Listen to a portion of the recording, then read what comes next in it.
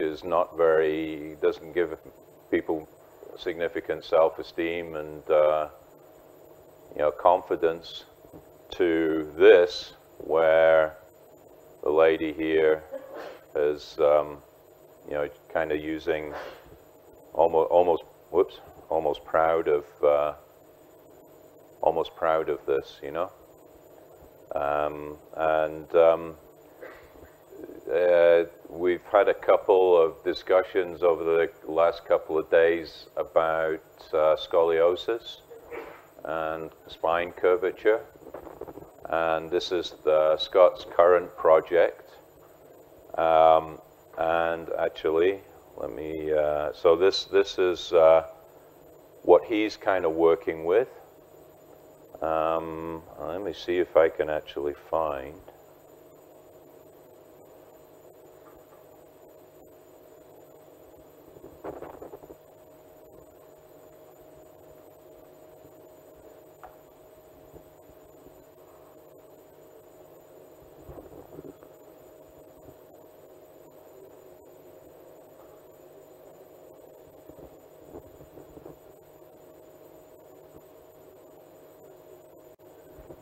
that, oops, lost it.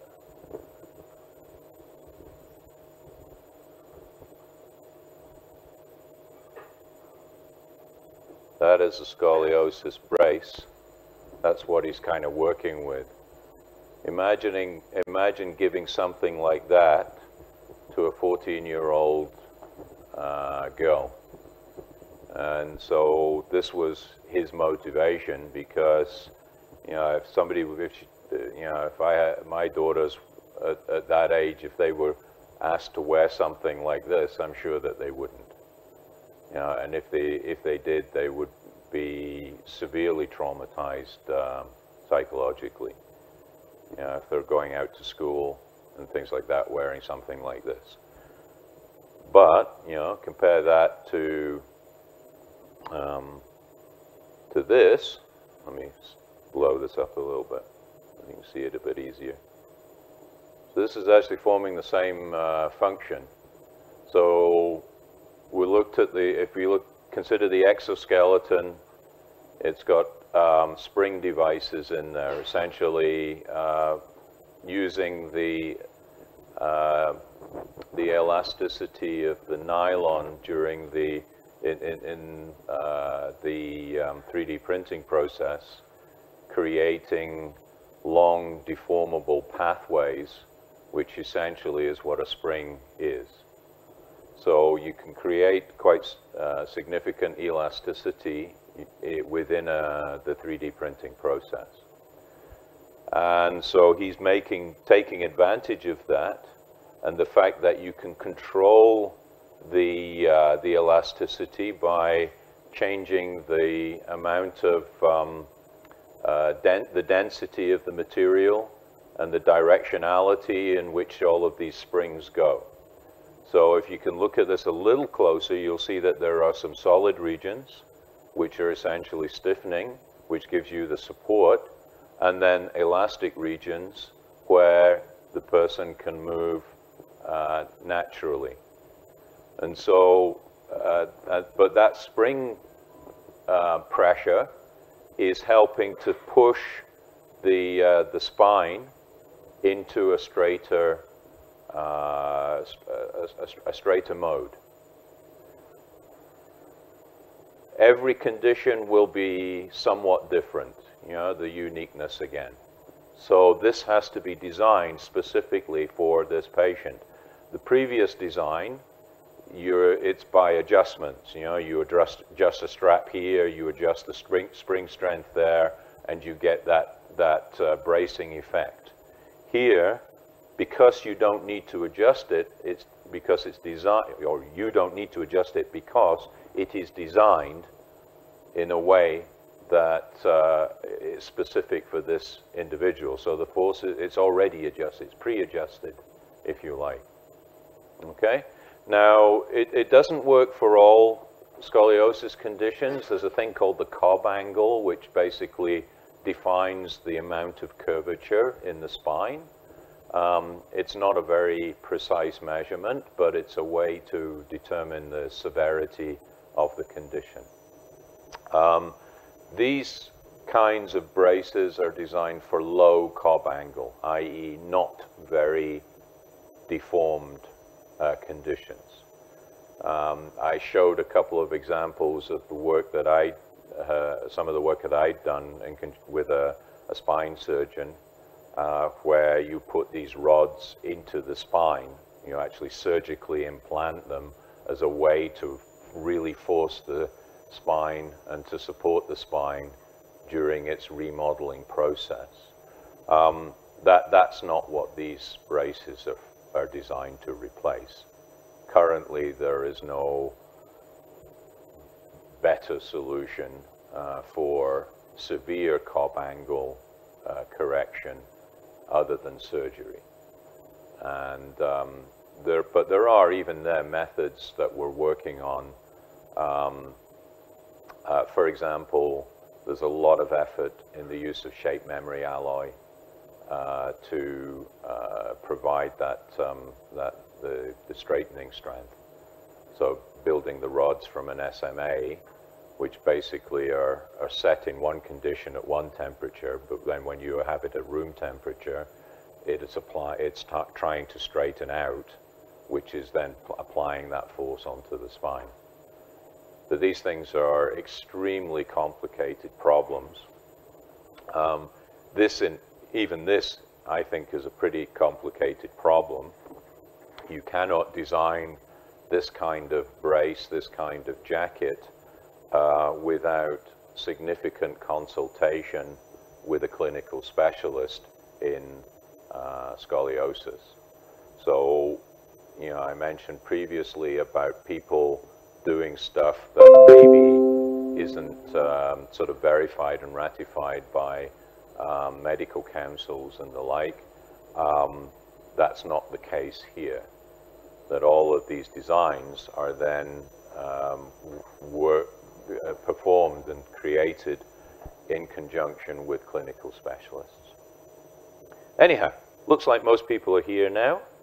So let's get on, because I know some of you, quite a few of you are kind of waiting. Let's get rid of him. Bye-bye, Scott. Oh, just, yeah, show you that one as well. These are some of the other examples. Um, it's kind of, I, I, I, it's not, not, doesn't work very well if I show these, uh, these slides in the wrong order. Um, but I, the, the intention of this slide was to say, okay, you've got three images here. Are you able to, to work out what the uh, similarity between them is? And obviously you know. But uh, I just kind of wondered whether, when you look at this, if you were to look at this at the first time, would the first thing you would consider is that all of these people have an artificial limb? And that's Scott's intention, really, to divert you away from the obvious, which is what a lot of designers uh, try to do, and to, to bring you into another, uh, another viewpoint. You know, you don't have to think about, you know, you might look at this one and say, oh, that's a nice bike. Or you say, this is a pretty lady.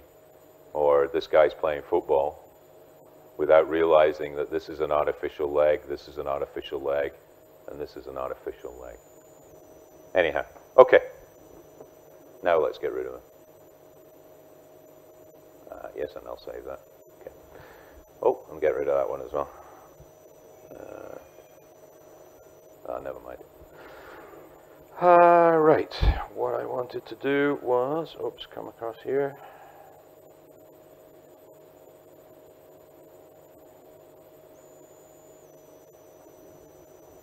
All right, bioprinting.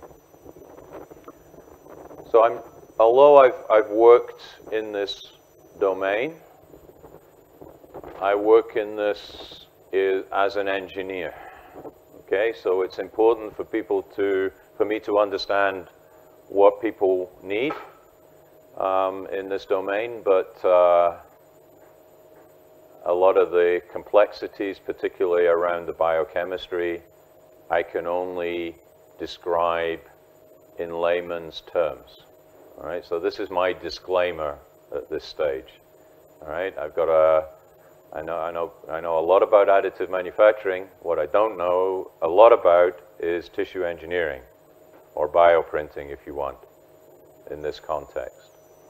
Somebody who knows a lot more about it is a good friend of mine. His name's uh, David Prawel.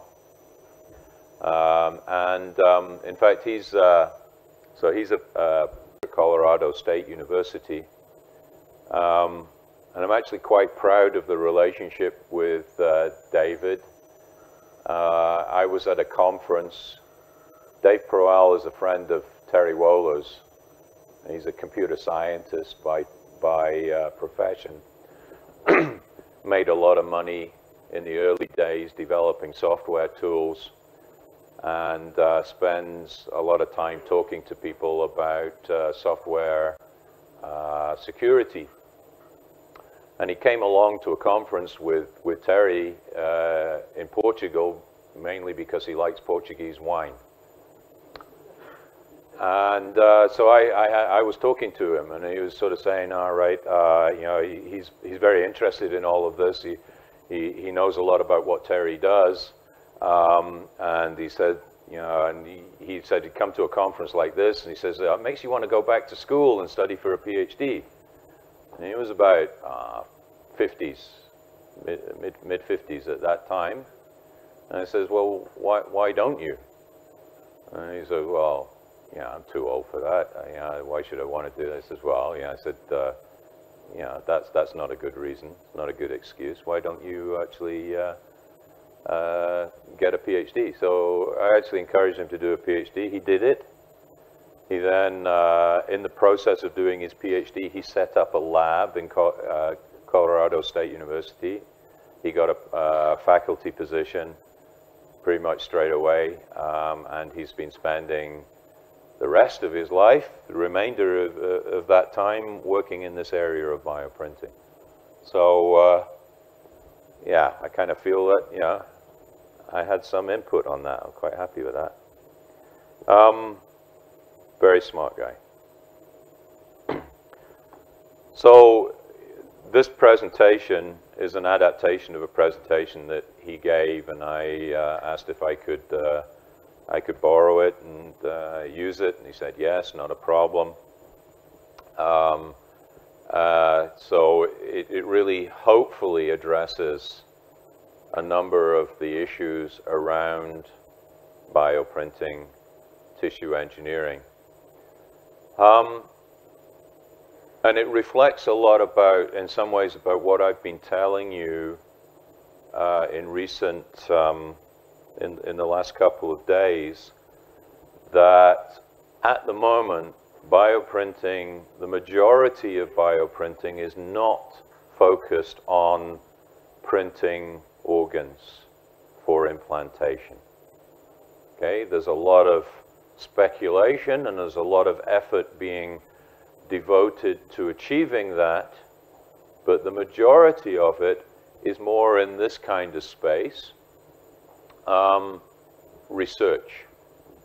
So the need for surrogate tissues, the need for artificial, if you like, tissues, artificially generated, not harvested from humans, uh, for research development and testing.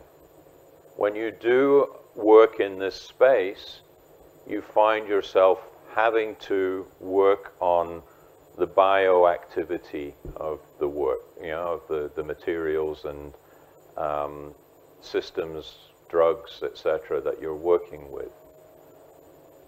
So you can do animal testing but we all know, I mean, the animal testing isn't necessarily the same as human testing. There's also a lot of issues around animal rights, um, and therefore, if you want to do animal testing, you really have to justify to the nth degree that it's the only or the best way to do that kind of test. So there's a lot of pressure to try and create other means for doing all of this testing. And so this is where the majority of effort currently is located. Some of it is just in a sort of a a self-fulfilling purpose that you're doing test models in order to understand how the cells grow so that you can then eventually create the tissues that are, are, are, suitable for implantation. So it's sort of like, uh, in this case, a product design process, you know, an iterative process. You know, if you want to make parts, uh, you want to design something, you've got to iterate on that until you come up with something that you're satisfied with, you know, from all of your uh, specifications and objectives. It's the same thing here.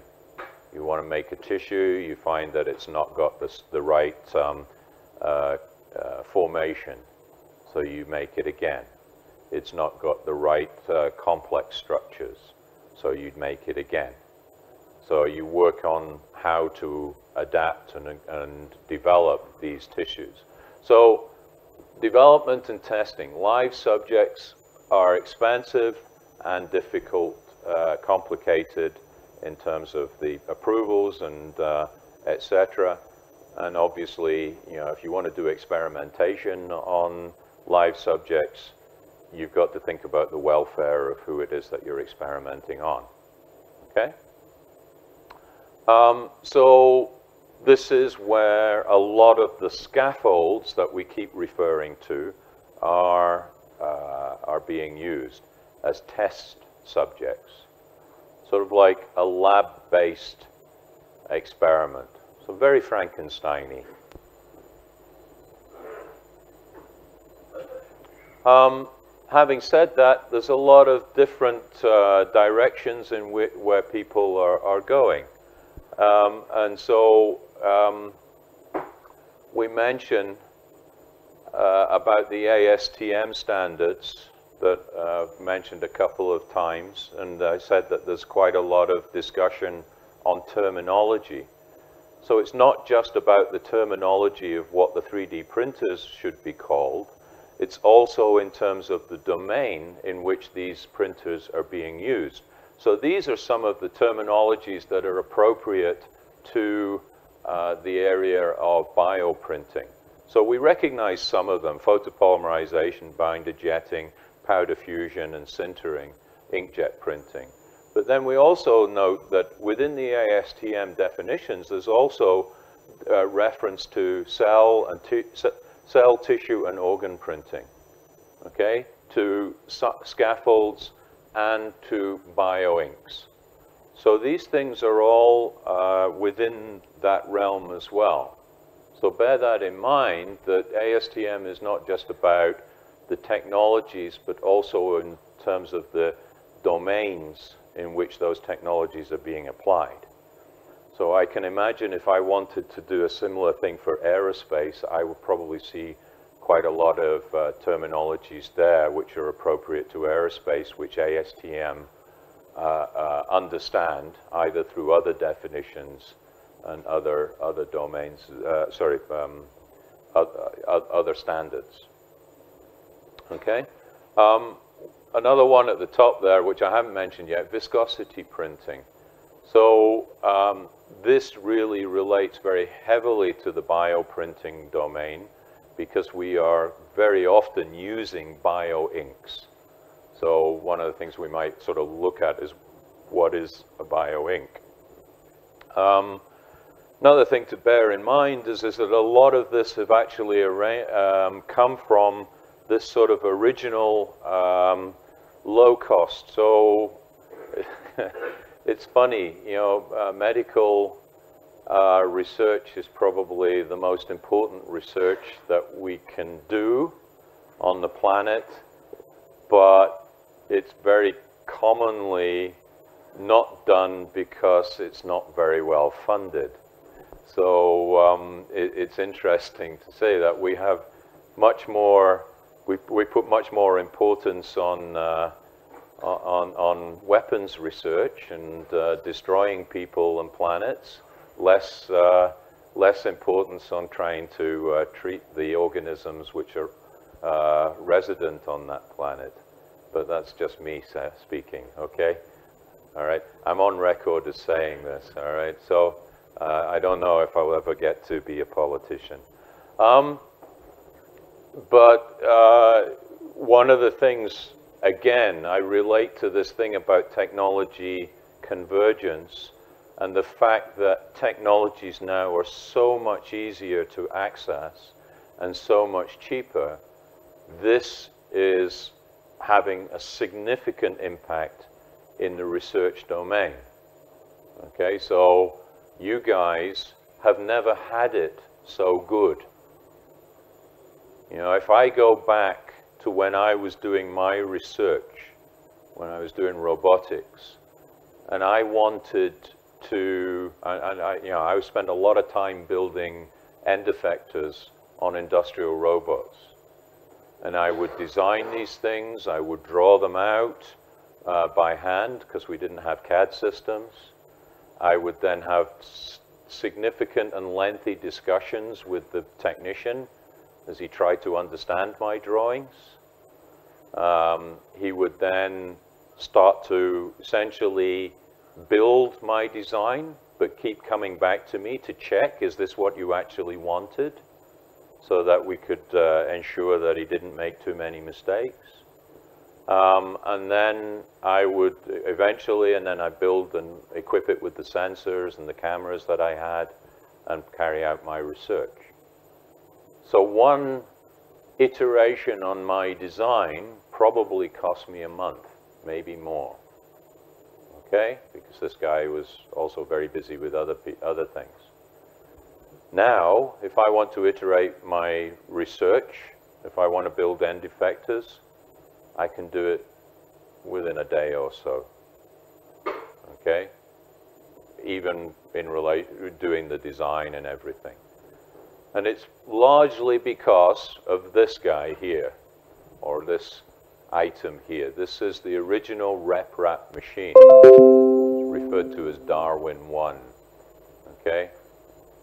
Um, Adrian Bowyer, the inventor of this thing, he always, his vision was um, what was called a von Neumann machine. Anybody understand what's meant by a von Neumann machine?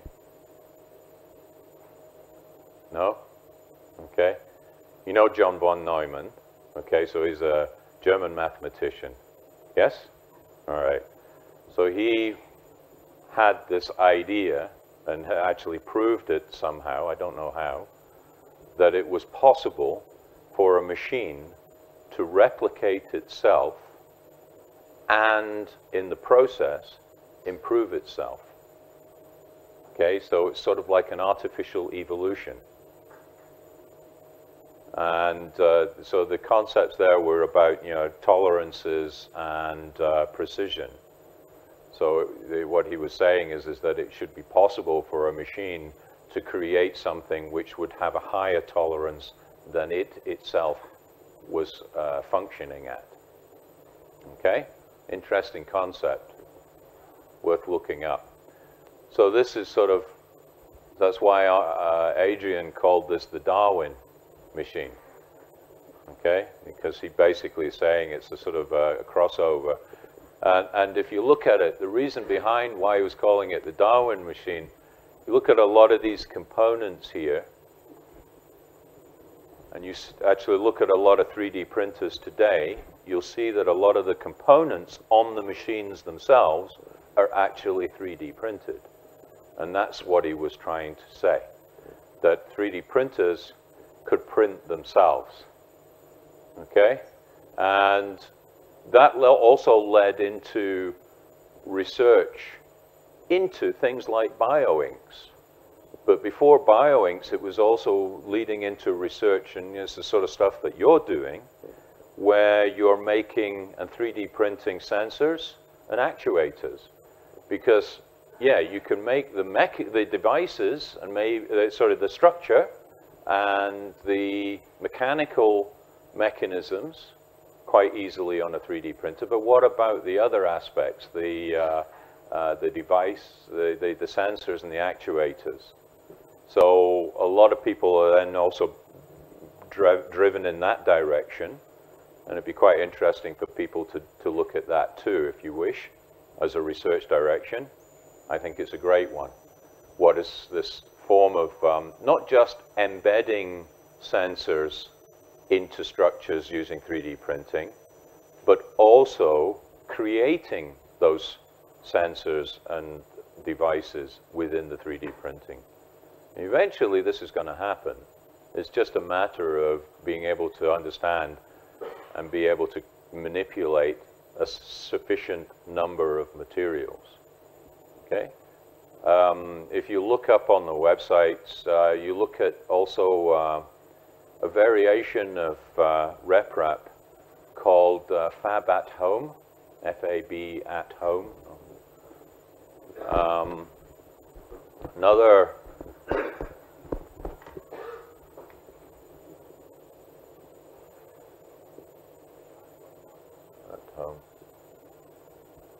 Uh, this was um, a project which was initiated at Cornell University in the US, uh, particularly uh, Professor Hod Lipson, who is uh, quite, uh, quite well known in this, that's, this arena as well.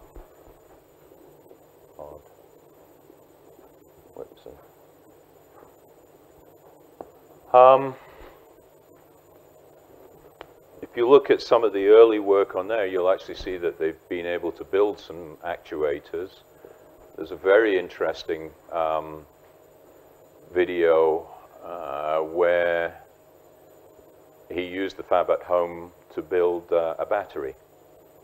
So not only sensors, actuators, but also energy sources. So it's possible. It's not a very nice battery and it's not a very powerful battery, but it is a battery. So long as you can make the, you know, the, the somehow deliver the materials, so you just have to de deliver some materials which are, react together and create electricity. Okay? Anyhow. Sorry, say again? What is a lithium ion battery? No, it's a silver nitride battery. And uh, what it is, if you look at it, what he, so you have to put the battery in a casing. So he had the fab at home extruding, uh, so he, he, mainly used uh, silicon, uh, silicon rubber, uh, air cure. So he used to extrude that, and that would create the casing. And then what he would do is he would uh, de deposit um, layers of silver nitride paste which then would be sufficient to sort of create um, uh, current. It, it's a concept, okay? Um, I suppose you could do probably the most sensible would be what's the, the LiFePO batteries, lithium, potassium, uh, ion uh, batteries. Um, those are the, probably the most likely uh, ways to create batteries using 3D printing, I think, because you've got more control over the materials. Anyway, I'm digressing again. Um, the, the Darwin machine has itself evolved into machines like this. So this is, if you are in that sort of um, uh, bioengineering and you're wanting to look at uh, 3D uh, printing, tissue engineering, then these are the, the kind of printers that you might like to consider. Um, when I started looking at this, there were no printers which were dedicated towards um, uh, medical, so we built our own. Uh, but quite quickly there came um, the bioplotter from a uh, German company. Got something tech in its name. Envision Tech.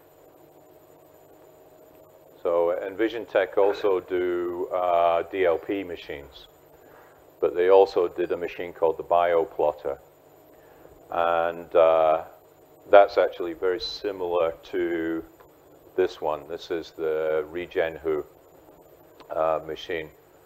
Um, basically, if you look at this, you can see a lot of uh, features which are quite useful in, um, in the bio uh, plotter thing. Let's just go back a minute to this one. This one is from CellInk. Um, it's a little unclear as to how this works and what it, uh, what functionality it has. But if you look at this one, you can see there's a lot of features in here. Um, first off, in bioprinting, it's not necessary to have a machine which is really big, okay? Nobody at the moment is very interested in creating large uh, scaffold and uh, cellular structures. Most of the samples and things that you want to create are like a centimeter cubed. Okay, so that's the first thing. So you don't need a big machine. Um, secondly, you don't need a very accurate machine either. Um, so the drive systems and things are not that critical. Um, in this case, you can see the drive systems are actually pretty good. You know, you've got a, you've got a, a couple of linear pathways here, which are quite, um, uh, quite effective. Um, uh, yeah, so I, I, so we get that way movement, and we get that way movement, and we get that way movement. So it's three axis that way. Um, another thing to really bear in mind is that the, uh, when I talk about not having a large platform, in particular, you don't really need much uh, Z movement, vertical movement, because quite often you're just making, as say, things which are very, very small in height. You may find that you want to uh, do a lot of these in some kind of uh, biochemistry uh, assay, you know, a sequence of experiments and therefore you might have a number of cells that you want to work with. And so X and Y is probably more important to have a bit bigger than in Z. Um, what is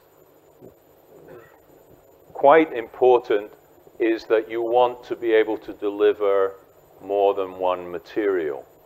So you can see here multiple heads. This is very common on a bioprinter. So having four heads, having a carousel system where you can collect the heads and deliver them. Um, that's uh, a, uh, uh, very common. However, the material delivery, you see it's not, not necessarily continuous. These uh, are probably pneumatic tubing, not material delivery tubing. This is most likely so you can see here, there's a colored ink in here. This is not colored. So what's, what you're doing is actually just delivering some pressure to feed a syringe. So most commonly is, is that the material delivery is, is constrained by the volume of the syringe. Okay? So you don't need large amounts of materials. Say you're building small samples, probably those materials are very difficult to formulate you know, because they could be uh, in all sorts of, um, you know, uh, chemical sequences. Um, where, who was I talking to uh, yesterday? Who are the, where's the, the, the bioengineers? Sitting at the back, is it? Where, where, where, where? Lost them. Uh, don't seem to be here at the moment. Um, the, uh, they were asking me about, you know, what's the best kind of scaffold and things to, uh, to work on. And we were then discussing about scaffolds and the fact that, you know, saying, well, you know, bio, they were talking about bioinks and preparation of bioinks with scaffolds. And it, it what we realized and what we discussed was it's usually a very lengthy sequence of steps. When you build a scaffold, probably the first thing that you do is actually you then uh, uh, work on the scaffold by cutting it up. Um, if you are using a, if you're building a scaffold, you probably build it like this for one layer, and then on top of it, you'll build another layer. Okay, and then you've got sort of areas which are your volume space. anyway, um, if you notice, at the end, you've got these sealed off areas because you're doing a continuous extrusion. So the first thing that most biochemists do to the scaffold is cut, cut, cut, and cut in order to expose more uh, space to, for, in the scaffold. Of course, you could sort of go print, stop, print, stop, and nowadays that's uh, a reasonably reliable approach now. Um, but uh, in, even if you do that and you're playing around with the scaffold materials, you'll get stringing effects and things like that, which is not desirable. So, sorry, was the question?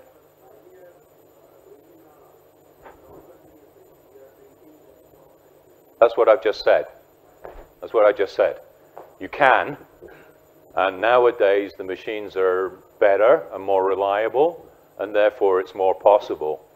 But if you're working with a material that you do not, that you've not fully characterized, that you're extruding, so maybe you're working on the scaffold material itself, then when you stop, sometimes you'll get stringing.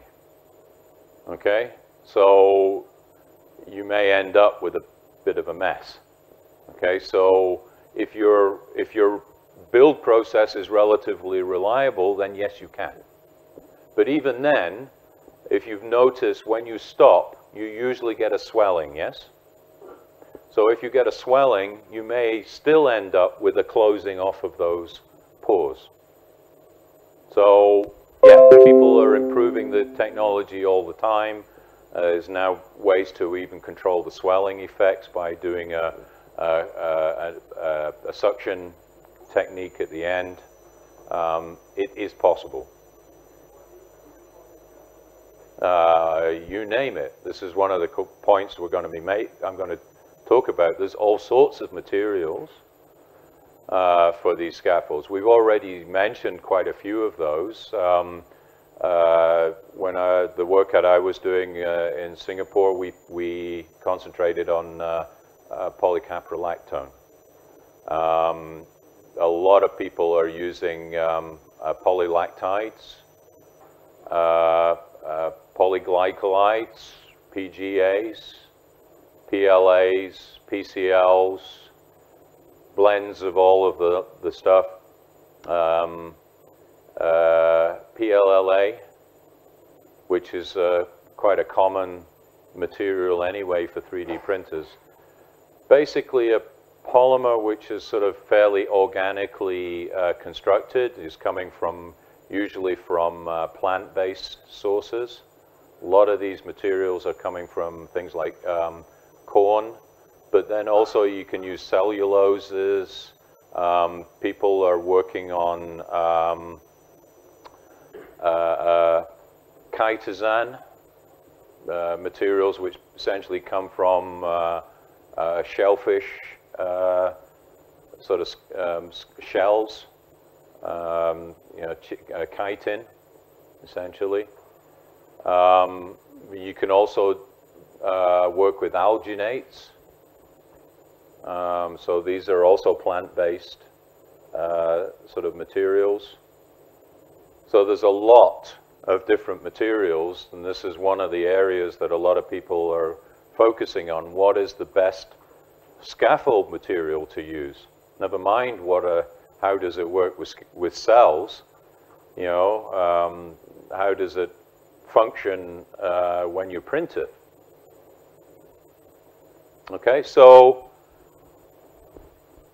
uh, so what I was basically leading on to in all of this is that there are multiple it, it, the type of experiments and the type of um, products that we build with bioprinters usually involve a number of materials. And maybe even a number of processes. So it's also quite common to have what you might, uh, a, a, a, a version of a hybrid 3D printer.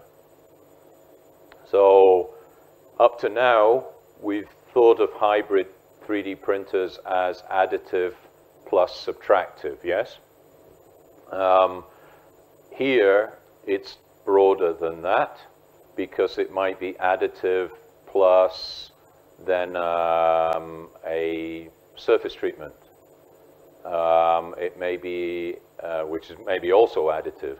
So it might be additive plus additive. It might be additive plus um, a uh, chemical uh, exposure. You know, you might um, want to put uh, expose it to UV light or something like that to sort of uh, you know kill the cells or whatever to, sterilize it before you do the next next layer. There may be uh, that you are additive, and we saw that with the heart thing, um, where you were actually had a, a, a hydrogel, a gel-like structure, and you were printing inside the gel. All of these things are very common in bioprinting experiments. So you ideally want a bioprinter that does that kind of thing. Okay, so, so and a lot of bioprinters now, that's what they do. Um, if you look at this one, this isn't actually a bioprinter. Um, this is just a highly versatile 3D printer. So this one, you've got um, extruders, you've got drill heads, you've got syringe heads. So what you do is you, you play around with your system, and you now look at quite a number of uh, 3D printers that are on the market. Um, it's quite common these days to have a 3D printer where you can swap the head out and put a laser on there and therefore change it from a printer to an engraver or a, or a cutter. You know, a laser cutter, laser engraver, you can also then swap it out and put a drill head on there. So these guys have just gone another couple of steps further by basically coming up with a variety of different heads. Some of these are, might be probes, where you can just measure stuff uh, using the printer. So you can do uh, like a coordinate measurement machine type device. Um, this one, quite clearly, this is a syringe. This is the syringe holder. So you've got a little stepper motor drive system to drive the syringe to give a constant pressure or constant output. Um, there's probably some other stuff in there. Um, uh, maybe a camera, you know, all sorts of things that you could mount on a structure like this. This is not something that just is appropriate for a 3D printer. It can be all sorts of other uh, devices as well. Um, it could be a tape layer. I've seen some of those where you get a, uh, you can lay down conductive tapes and therefore make uh, PCB type um, uh, devices. Uh, so this again leads on to embedding uh, sort of uh, electronics and actuators in there. So there's all sorts of things you can do with your, your printer. And so a lot of the bio printer guys are, are buying machines like this because it's uh, something they, they can uh, easily use. I mean, I think the most important thing for bioprinting is, well, the most, two most important things. One is uh, a, a conventional heat-based melt extrusion system for laying down uh, usually low temperature or relatively low temperature polymers like uh, PLAs. Um, but then uh, the other thing is a syringe-based uh, delivery system. And then the other major advantage is the ability to switch between different uh, delivery modes. So either, either a, a carousel type thing where you pick up the head or you actually have multiple heads itself. So this is a carousel based. Uh, the previous one was a multiple head system.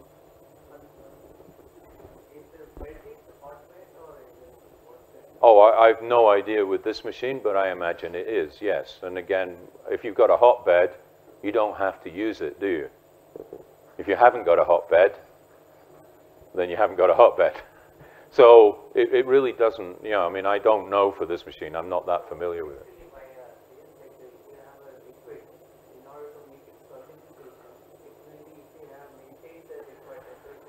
Uh, right. For the types of materials they tend to use, um, they do not look to do the uh, liquid to solid transformation quite so rapidly. So there are, for example, um, uh, hydrogels which you dry out and they create a foam, solid foam, yeah? Uh, you don't do that in, inside the machine. The usual practice is you create the structure and then you put it into a drying oven.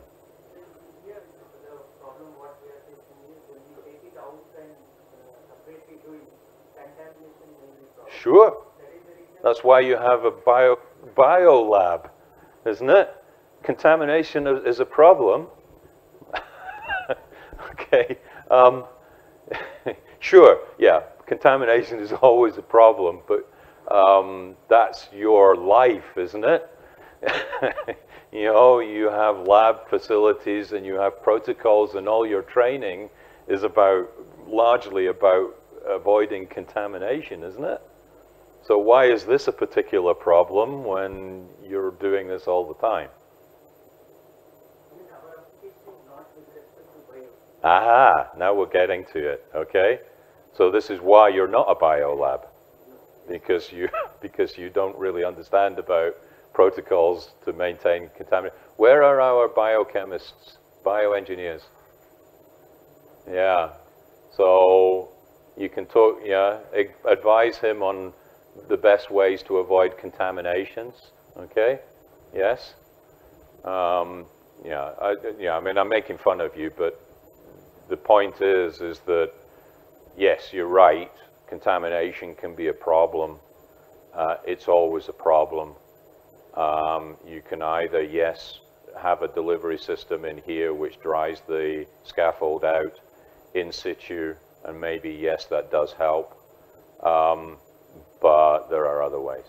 And, in, and quite often, in fact, a lot of the drying methods don't actually involve ovens and stuff like that. They use quite often involve, you know, immersion into uh, weak acid solutions and things like that um, to sort of more co cause a cross-linking effect rather than a drying effect um, and then you dry out afterwards. So there's, again, there's a lot of different stages. One of the things that I learned from working, so I mean, I've had biochemists working for me in the area of tissue engineering, and the thing is, is that, you know, a lot of these, once I give them a scaffold, that's only the start of their, their work.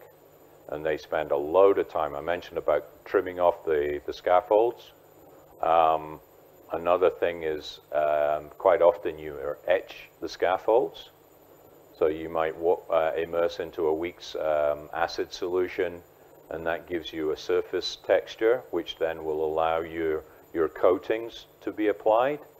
The coatings are usually uh, sort of an inorganic or um, non-bioactive uh, coating because it's sort of like an interface between the scaffold and then the, uh, the active components like um, uh, proteins, like bone morphogenic proteins, uh, uh, you know, um, even then there might be sugar coatings, which I was mentioning to you before, the use of heparin sulfate as a, as a way to help those BMPs stay where they are.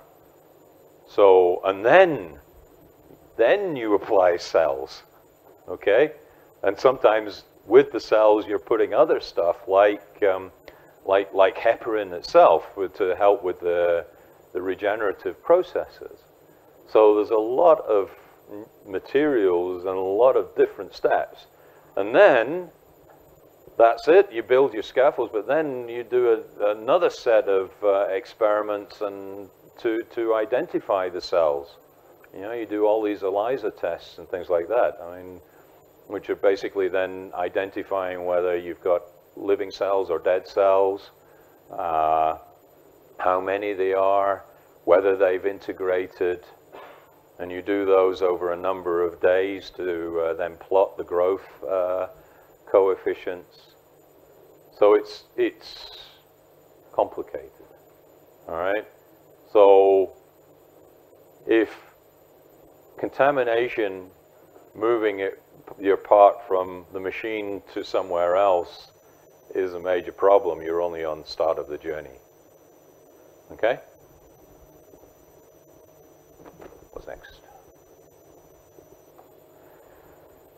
Uh, yeah, so um, there's sort of like three approaches, if you like, or generic approaches towards uh, tissue engineering. Um, the uh,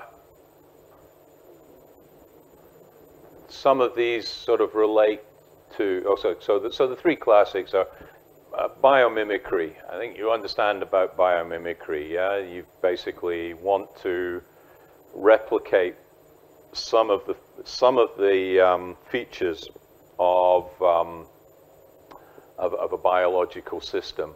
When, it says not functioning, form, fit, shape, to me is also a bit to do with function. Um, for example, um, we did some work in one of our design labs uh, using, um, I think, I'm trying to think what animal that we were trying to replicate.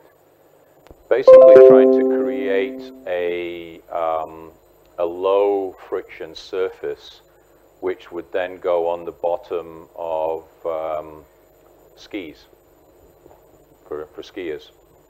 So uh, if you know how skis kind of work, you basically try to um, sort of you know create a low friction uh, between the the um, the snow and the, the ski. Essentially, the compression actually causes the snow to melt uh, slightly, and that causes a lubrication layer, which gives you the the, the, sl the sliding effect. Um, uh, this could be more efficient if the surface itself was low friction. So, uh, so we were looking at some animal designs and trying to recreate the shape of those, the animal skin, um, on the base of the ski. And um, it didn't really work very well, but we, uh, we, we tried. Um, that is biomimicry. So this is kind of like what, what Dave means by not functioning is that um, it, it, doesn't, it's not grown there. It's not grown into that shape. It's, it's replicated using a, a conventional manufacturing method. We see a lot of these things, you know, there's now a lot of st uh, sticky type of gripping type devices which are based around um, the use of uh, like, like uh, newts and geckos and things like that, where uh, a, gecko actually climbs up a wall, not because he's creating suction, but because he's, he or she, it, is creating electrostatic force, uh, attraction, because there's lots of very fine hairs on the, on, on, the, uh, on, on their, their, their feet. And so that allow that gives you the, the traction. Anybody seen Mission Impossible 4?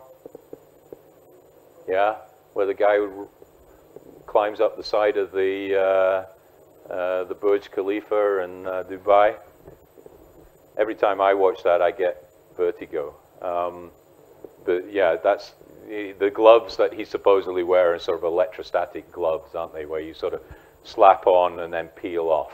And that's basically how a lot of uh, uh, a lot of these kinds of devices work, and uh, that's a biomimicry type of thing. Um, Velcro is probably one of the first biomimicry um, products uh, that most, or so probably one of the most that was sort of kind of explicitly labeled as biomimicry because the guy that invented Velcro saw that um, some of these plant um, seeds uh, clung to fabric and the, the, backs of animals and things like that as a way of uh, plant uh, dispersion. Uh, and it was because there's this little sort of hook mechanism. So, so that's kind of what we mean by biomimicry, and that's what we mean by we build it. We sort of understand the biomimicry uh, effect and what it's supposed to achieve, and therefore build a device which has a similar effect. Um, the, if you anybody is a swimmer, uh, follows the Olympics, uh, the uh, the shark suit that was uh, banned from the Olympics, uh, that the Australian swimmers wore, that's the same sort of thing. It basically creates micro turbulence. It's a textured surface.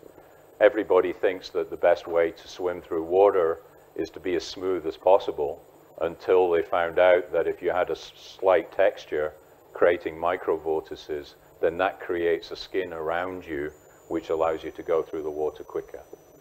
So those kinds of things, understanding how nature has solved lots of uh, uh, problems uh, in, in uh, evolution. Um, okay, uh, autonomous self-assembly. This is sort of like saying, okay, providing um, a, uh, a mechanism for cells to uh, build them cell build into multicellular and complex structures. Uh, so this is where a lot of the work is. This is where scaffolds live. Okay, physical and chemical processes of tissue and organ development.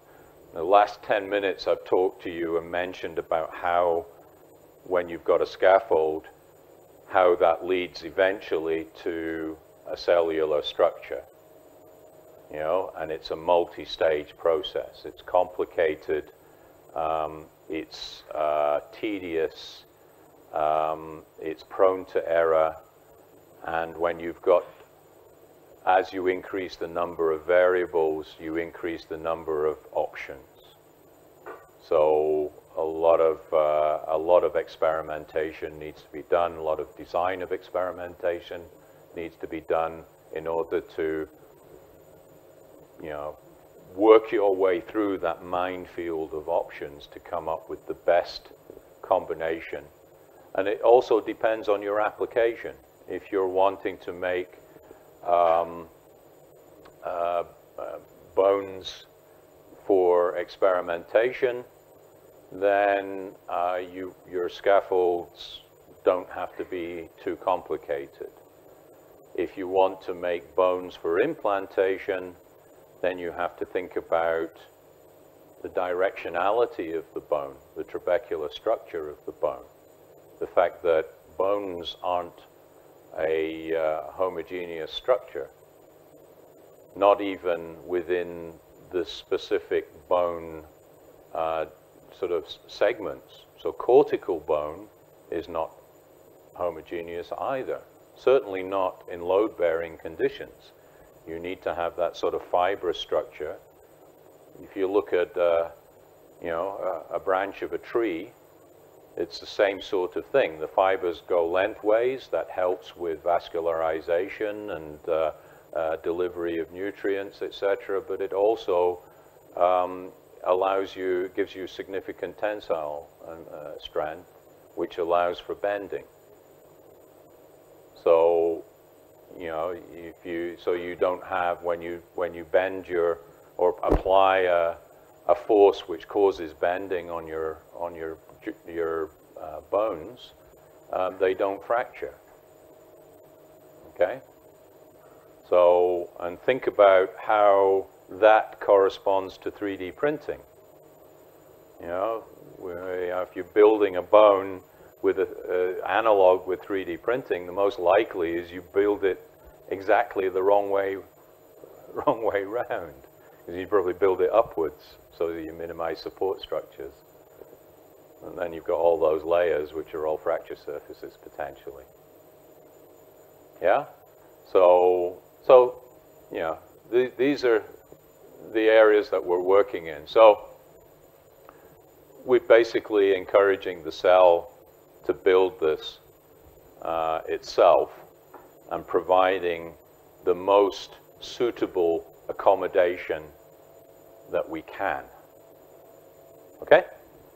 Um, and then organ engineering is essentially taking that one step further and realizing that, you know, this isn't biomimicry. Not really. It's functionality, it's biofunctionality. And so you combine the functionality with the actual structure, then you get organs. Okay? Um, when I was uh, looking um, at uh, researching into bone tissue engineering, we spent a lot of time discussing and trying to understand uh, osteochondrial uh, effects, basically joints, cartilage, and bone. Okay. Um, one of the things that we found is, is that we build our scaffolds. Um, as I said, I mentioned we used uh, PCL, polycaprolactone, as the polymer. But that's not very bioactive and not very bioinducive. Okay, it's biodegradable and reasonably inert, but it's not going to help too much in cell regeneration. So we used to mix the polycaprolactone with tricalcium phosphate. It's a bone ceramic, or bone analog ceramic. Similar sorts of properties to hydroxyapatite. So we mix those in, then we used to create our scaffolds, which was essentially a, a composite. Um, now, uh, I mentioned about etching of the scaffold. One of the reasons that we use to etch the scaffold is because when we incorporate the calcium phosphate into the polymer, it goes into the middle of the polymer feed. So you end up with an extrusion. You extrude, okay, from the nozzle. So here's the nozzle, here's the extrudate. What happens is in, in the nozzle, you'll have particles of, uh, of TCP extruding into the, uh, the molten, or being carried by the molten uh, PCL. And because of shear effects and, and, shear turbulence in the channel, what you'd have is little micro vortices here, which basically allow you to extrude and provide the extra, well, not here, actually, here. this is outside of the nozzle. Um, you would uh, not get the particles at the surface of the scaffold. So the TCP might be bioactive, but it's no use because the cells don't see it. The cells won't detect it. So the first thing we would have had to do, and what the first thing we did, is essentially dissolve our scaffold so that the particles are then exposed. And then, so we would have a smaller scaffold, pore sizes would be bigger, and those would then have the TCP uh, powders there, and the cells would be able to bond with the powders. Um, what was I also going to say? Uh, we've not mentioned the uh, pore sizes very much yet.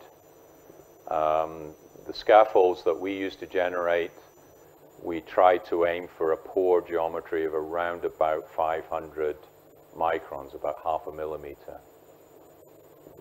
Um, in, in, in sort of oh, general uh, dimension, overall dimension. Um, cells, uh, bone cells around about 50 microns as uh, normally. And so that allows for a, num uh, a population of cells to occupy a pore, but without too much bridging across that pore. And then also a bit of space for nutrients to get there uh, to allow for the cells to, uh, uh, to, to uh, join together um, and, and uh, to, to, to become healthy. Oh. Uh, what next? Yes. Um, so, in fact, research is carried on at all levels. I mean, people are working on um, uh, just 3D printing of cells. So this is the bio-ink part. So people are putting cells into syringes and then extruding them and uh, you know, because that's a good way of controlling the delivery. Um, and uh, so therefore knowing uh, where those cells are actually going to be. Um, I mentioned about osteochondrial implants, and I forgot to mention. So as I said, we build the bone using PCL with TCP. Cartilage doesn't want the, um, the calcium phosphate there. It, it, it doesn't like it.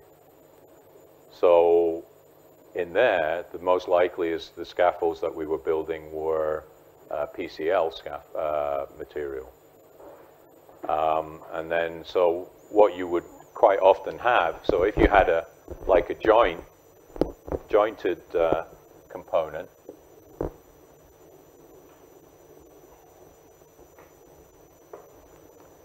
say imagine, uh, whew, okay, simplest one to remember is probably a femoral head, okay? Okay? So all this would be nice uh, bone around here, and then you'd want cartilage around here. So you've got a cartilage region, and you've got a, a bone region. One could also then subdivide that, that you would have obviously uh, cortical bone with trabecular structure, so make sure that it's all, when people are playing around with, um, in the bioreactors, with the bone and then actually putting mechanical stress on the, uh, on the cells. Um, some using sort of inductive fields, some actually doing mechanical compression of the cellular structures. There's quite a lot of evidence to suggest that's how trabeculae actually form. That if you're actually pushing the cells in a particular direction, they react by growing along that direction. Okay?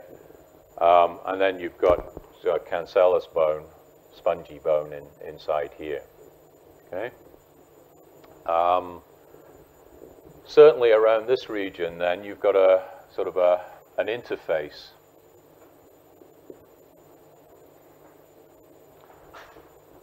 Okay? Uh, so you've got that interfacial region. And um, so what we were also hypothesizing is that probably we could build a scaffold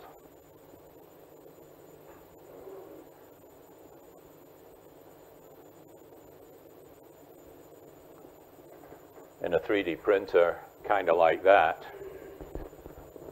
um, which would give us the sort of bone formation that we want. Um, probably then we'd still have to think about how do we cause it to load, particularly when you've got variable load path, okay? So this is vertical, this is like this way. Should I then apply a, a force this way and the force this way in order to cause that? But that's, that's a long, long way in the future. Um, but what we were then looking at was what, how do we deal with this? So what we were then thinking is, in fact, that we would use curved layer printing so that we print normal to this surface with PCL. So that was the kind of kind of um, um, approach that we were considering uh, during that uh, uh, during that time. Does that make sense to people? Maybe. Okay. Uh, what next? Um, yeah, moving into yeah. The, so the cellular components, I suppose, is about I know um, uh, sort of stem cell work, I guess, and getting them to form into different types of cells. Then there's research on actually printing of the cells themselves. Um, then there's the sort of the 3D printing of tissues, and then also people that are trying to 3D print organs. So this is really just to try and say, okay, how does this all turn in from one thing to the other? So there's lots of research going on. So, you know, when whoever it was that asked me, you know, what materials, um, it's very, very subjective uh, thing. There's a lot, a lot of materials. Um, so there are, I mean, it's some interesting things actually as well. Um, I mentioned about, uh, so this is from Atala, Wake Forest, that I mentioned earlier that did a lot of work on the bladder and um, if you think about it, this is quite a, a common thing. You know, essentially our geometry is largely defined by our skeleton. Okay? A lot of the other cellular, the soft cell structures, are really defined, could, could be considered as, as, as flat surfaces, then wrapped around that skeleton. So it's a bit like taking a piece of cloth, which has the flexibility, but then sewing it into a three-dimensional structure. The physical support coming from the skeleton. So if you think about that, that's what Atala was realizing with regards to his work on the bladder. In fact, he created bladder tissue which was flat. And then he just worked out a method to cut it up and sew it together so as it formed a three-dimensional shape and, and functioned as a bladder. And he inserted it in pigs and it worked. You know, so he grew a bladder in the lab. Um, from what I understand, the tissue structure is quite straightforward and simple compared to many others. It's not, not a multicellular structure, so that's why he chose it. Um, but then uh, it was it was quite easy for him to then uh, create. But it was a great demonstration of what can be done. And the similar thing we can see, you know, if we've got uh, vascular and bronchial tubes in us, you know, airways and uh, blood vessels, then these are tube structures. Also relatively straightforward in their basic structure. The complexity comes from the branching and the size variations. Okay, and therefore it becomes a network type of concept. And I've got, a, I've got one later. Um, but we can deal with this kind of like at this level, if we've got the track here and we can do some kind of, you know, people have talked about stents, for example, and splints and things. That's where that comes from. Okay? Um, corneas, kidneys. Kidneys then obviously are another dimension above that into much more complex multicellular structures with a lot of branching in there. Uh, lungs would be the same, livers would be the same. Pancreas. What else? Okay, so structural complexity, sort of some idea there about starting off with something relatively simple structure, two-dimensional, which is skin, cartilage, which can then be formed over com more complex uh, geometric forms. Um, tubing structures, vascular, aortic, trachea, and then fully three-dimensional structures which relates to things like kidneys. however, I said skins and that thing is relatively simple, but the reality is, again is not. I mean, okay, the ge geometric form might be, we might be able to um, uh, produce a sort of like an epidermal, an epidermal layer, but then to also include other factors in there, including the hair follicles, etc. Um, and then we're turning what is initially looking like a two-dimensional problem into a highly three-dimensional problem. But this is the kind of level that we're working at at the moment. Moment, we're really just still playing around with simple three-dimensional structures, um, trying to get good mechanical properties, but then uh, predictable properties, uh, adjustable properties, but even then we look at these, these are not really adjustable yet because we've not changed the density of any of these forms or anything yet.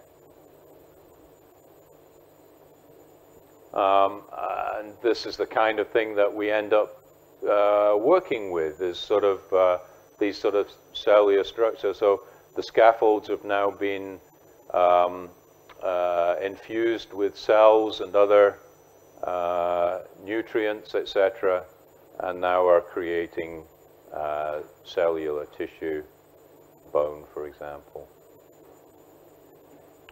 Um, we could play around with some of these ideas to create the geometry. So yeah, it'd be nice. We're working a lot with just basic prismatic structures, but it is possible to do something similar with conventional 3D printing to create um, uh, uh, more three-dimensional effects, sacrificial processes, similar to support structures, etc., which we could apply in contexts like this to create um, a very uh, complex tree-like uh, structure like these, these cell uh, scaffolds which are aimed at trying to create lung tissue.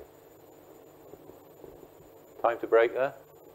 Let's break there, okay? We'll carry on from there. I've got a few more on this yet.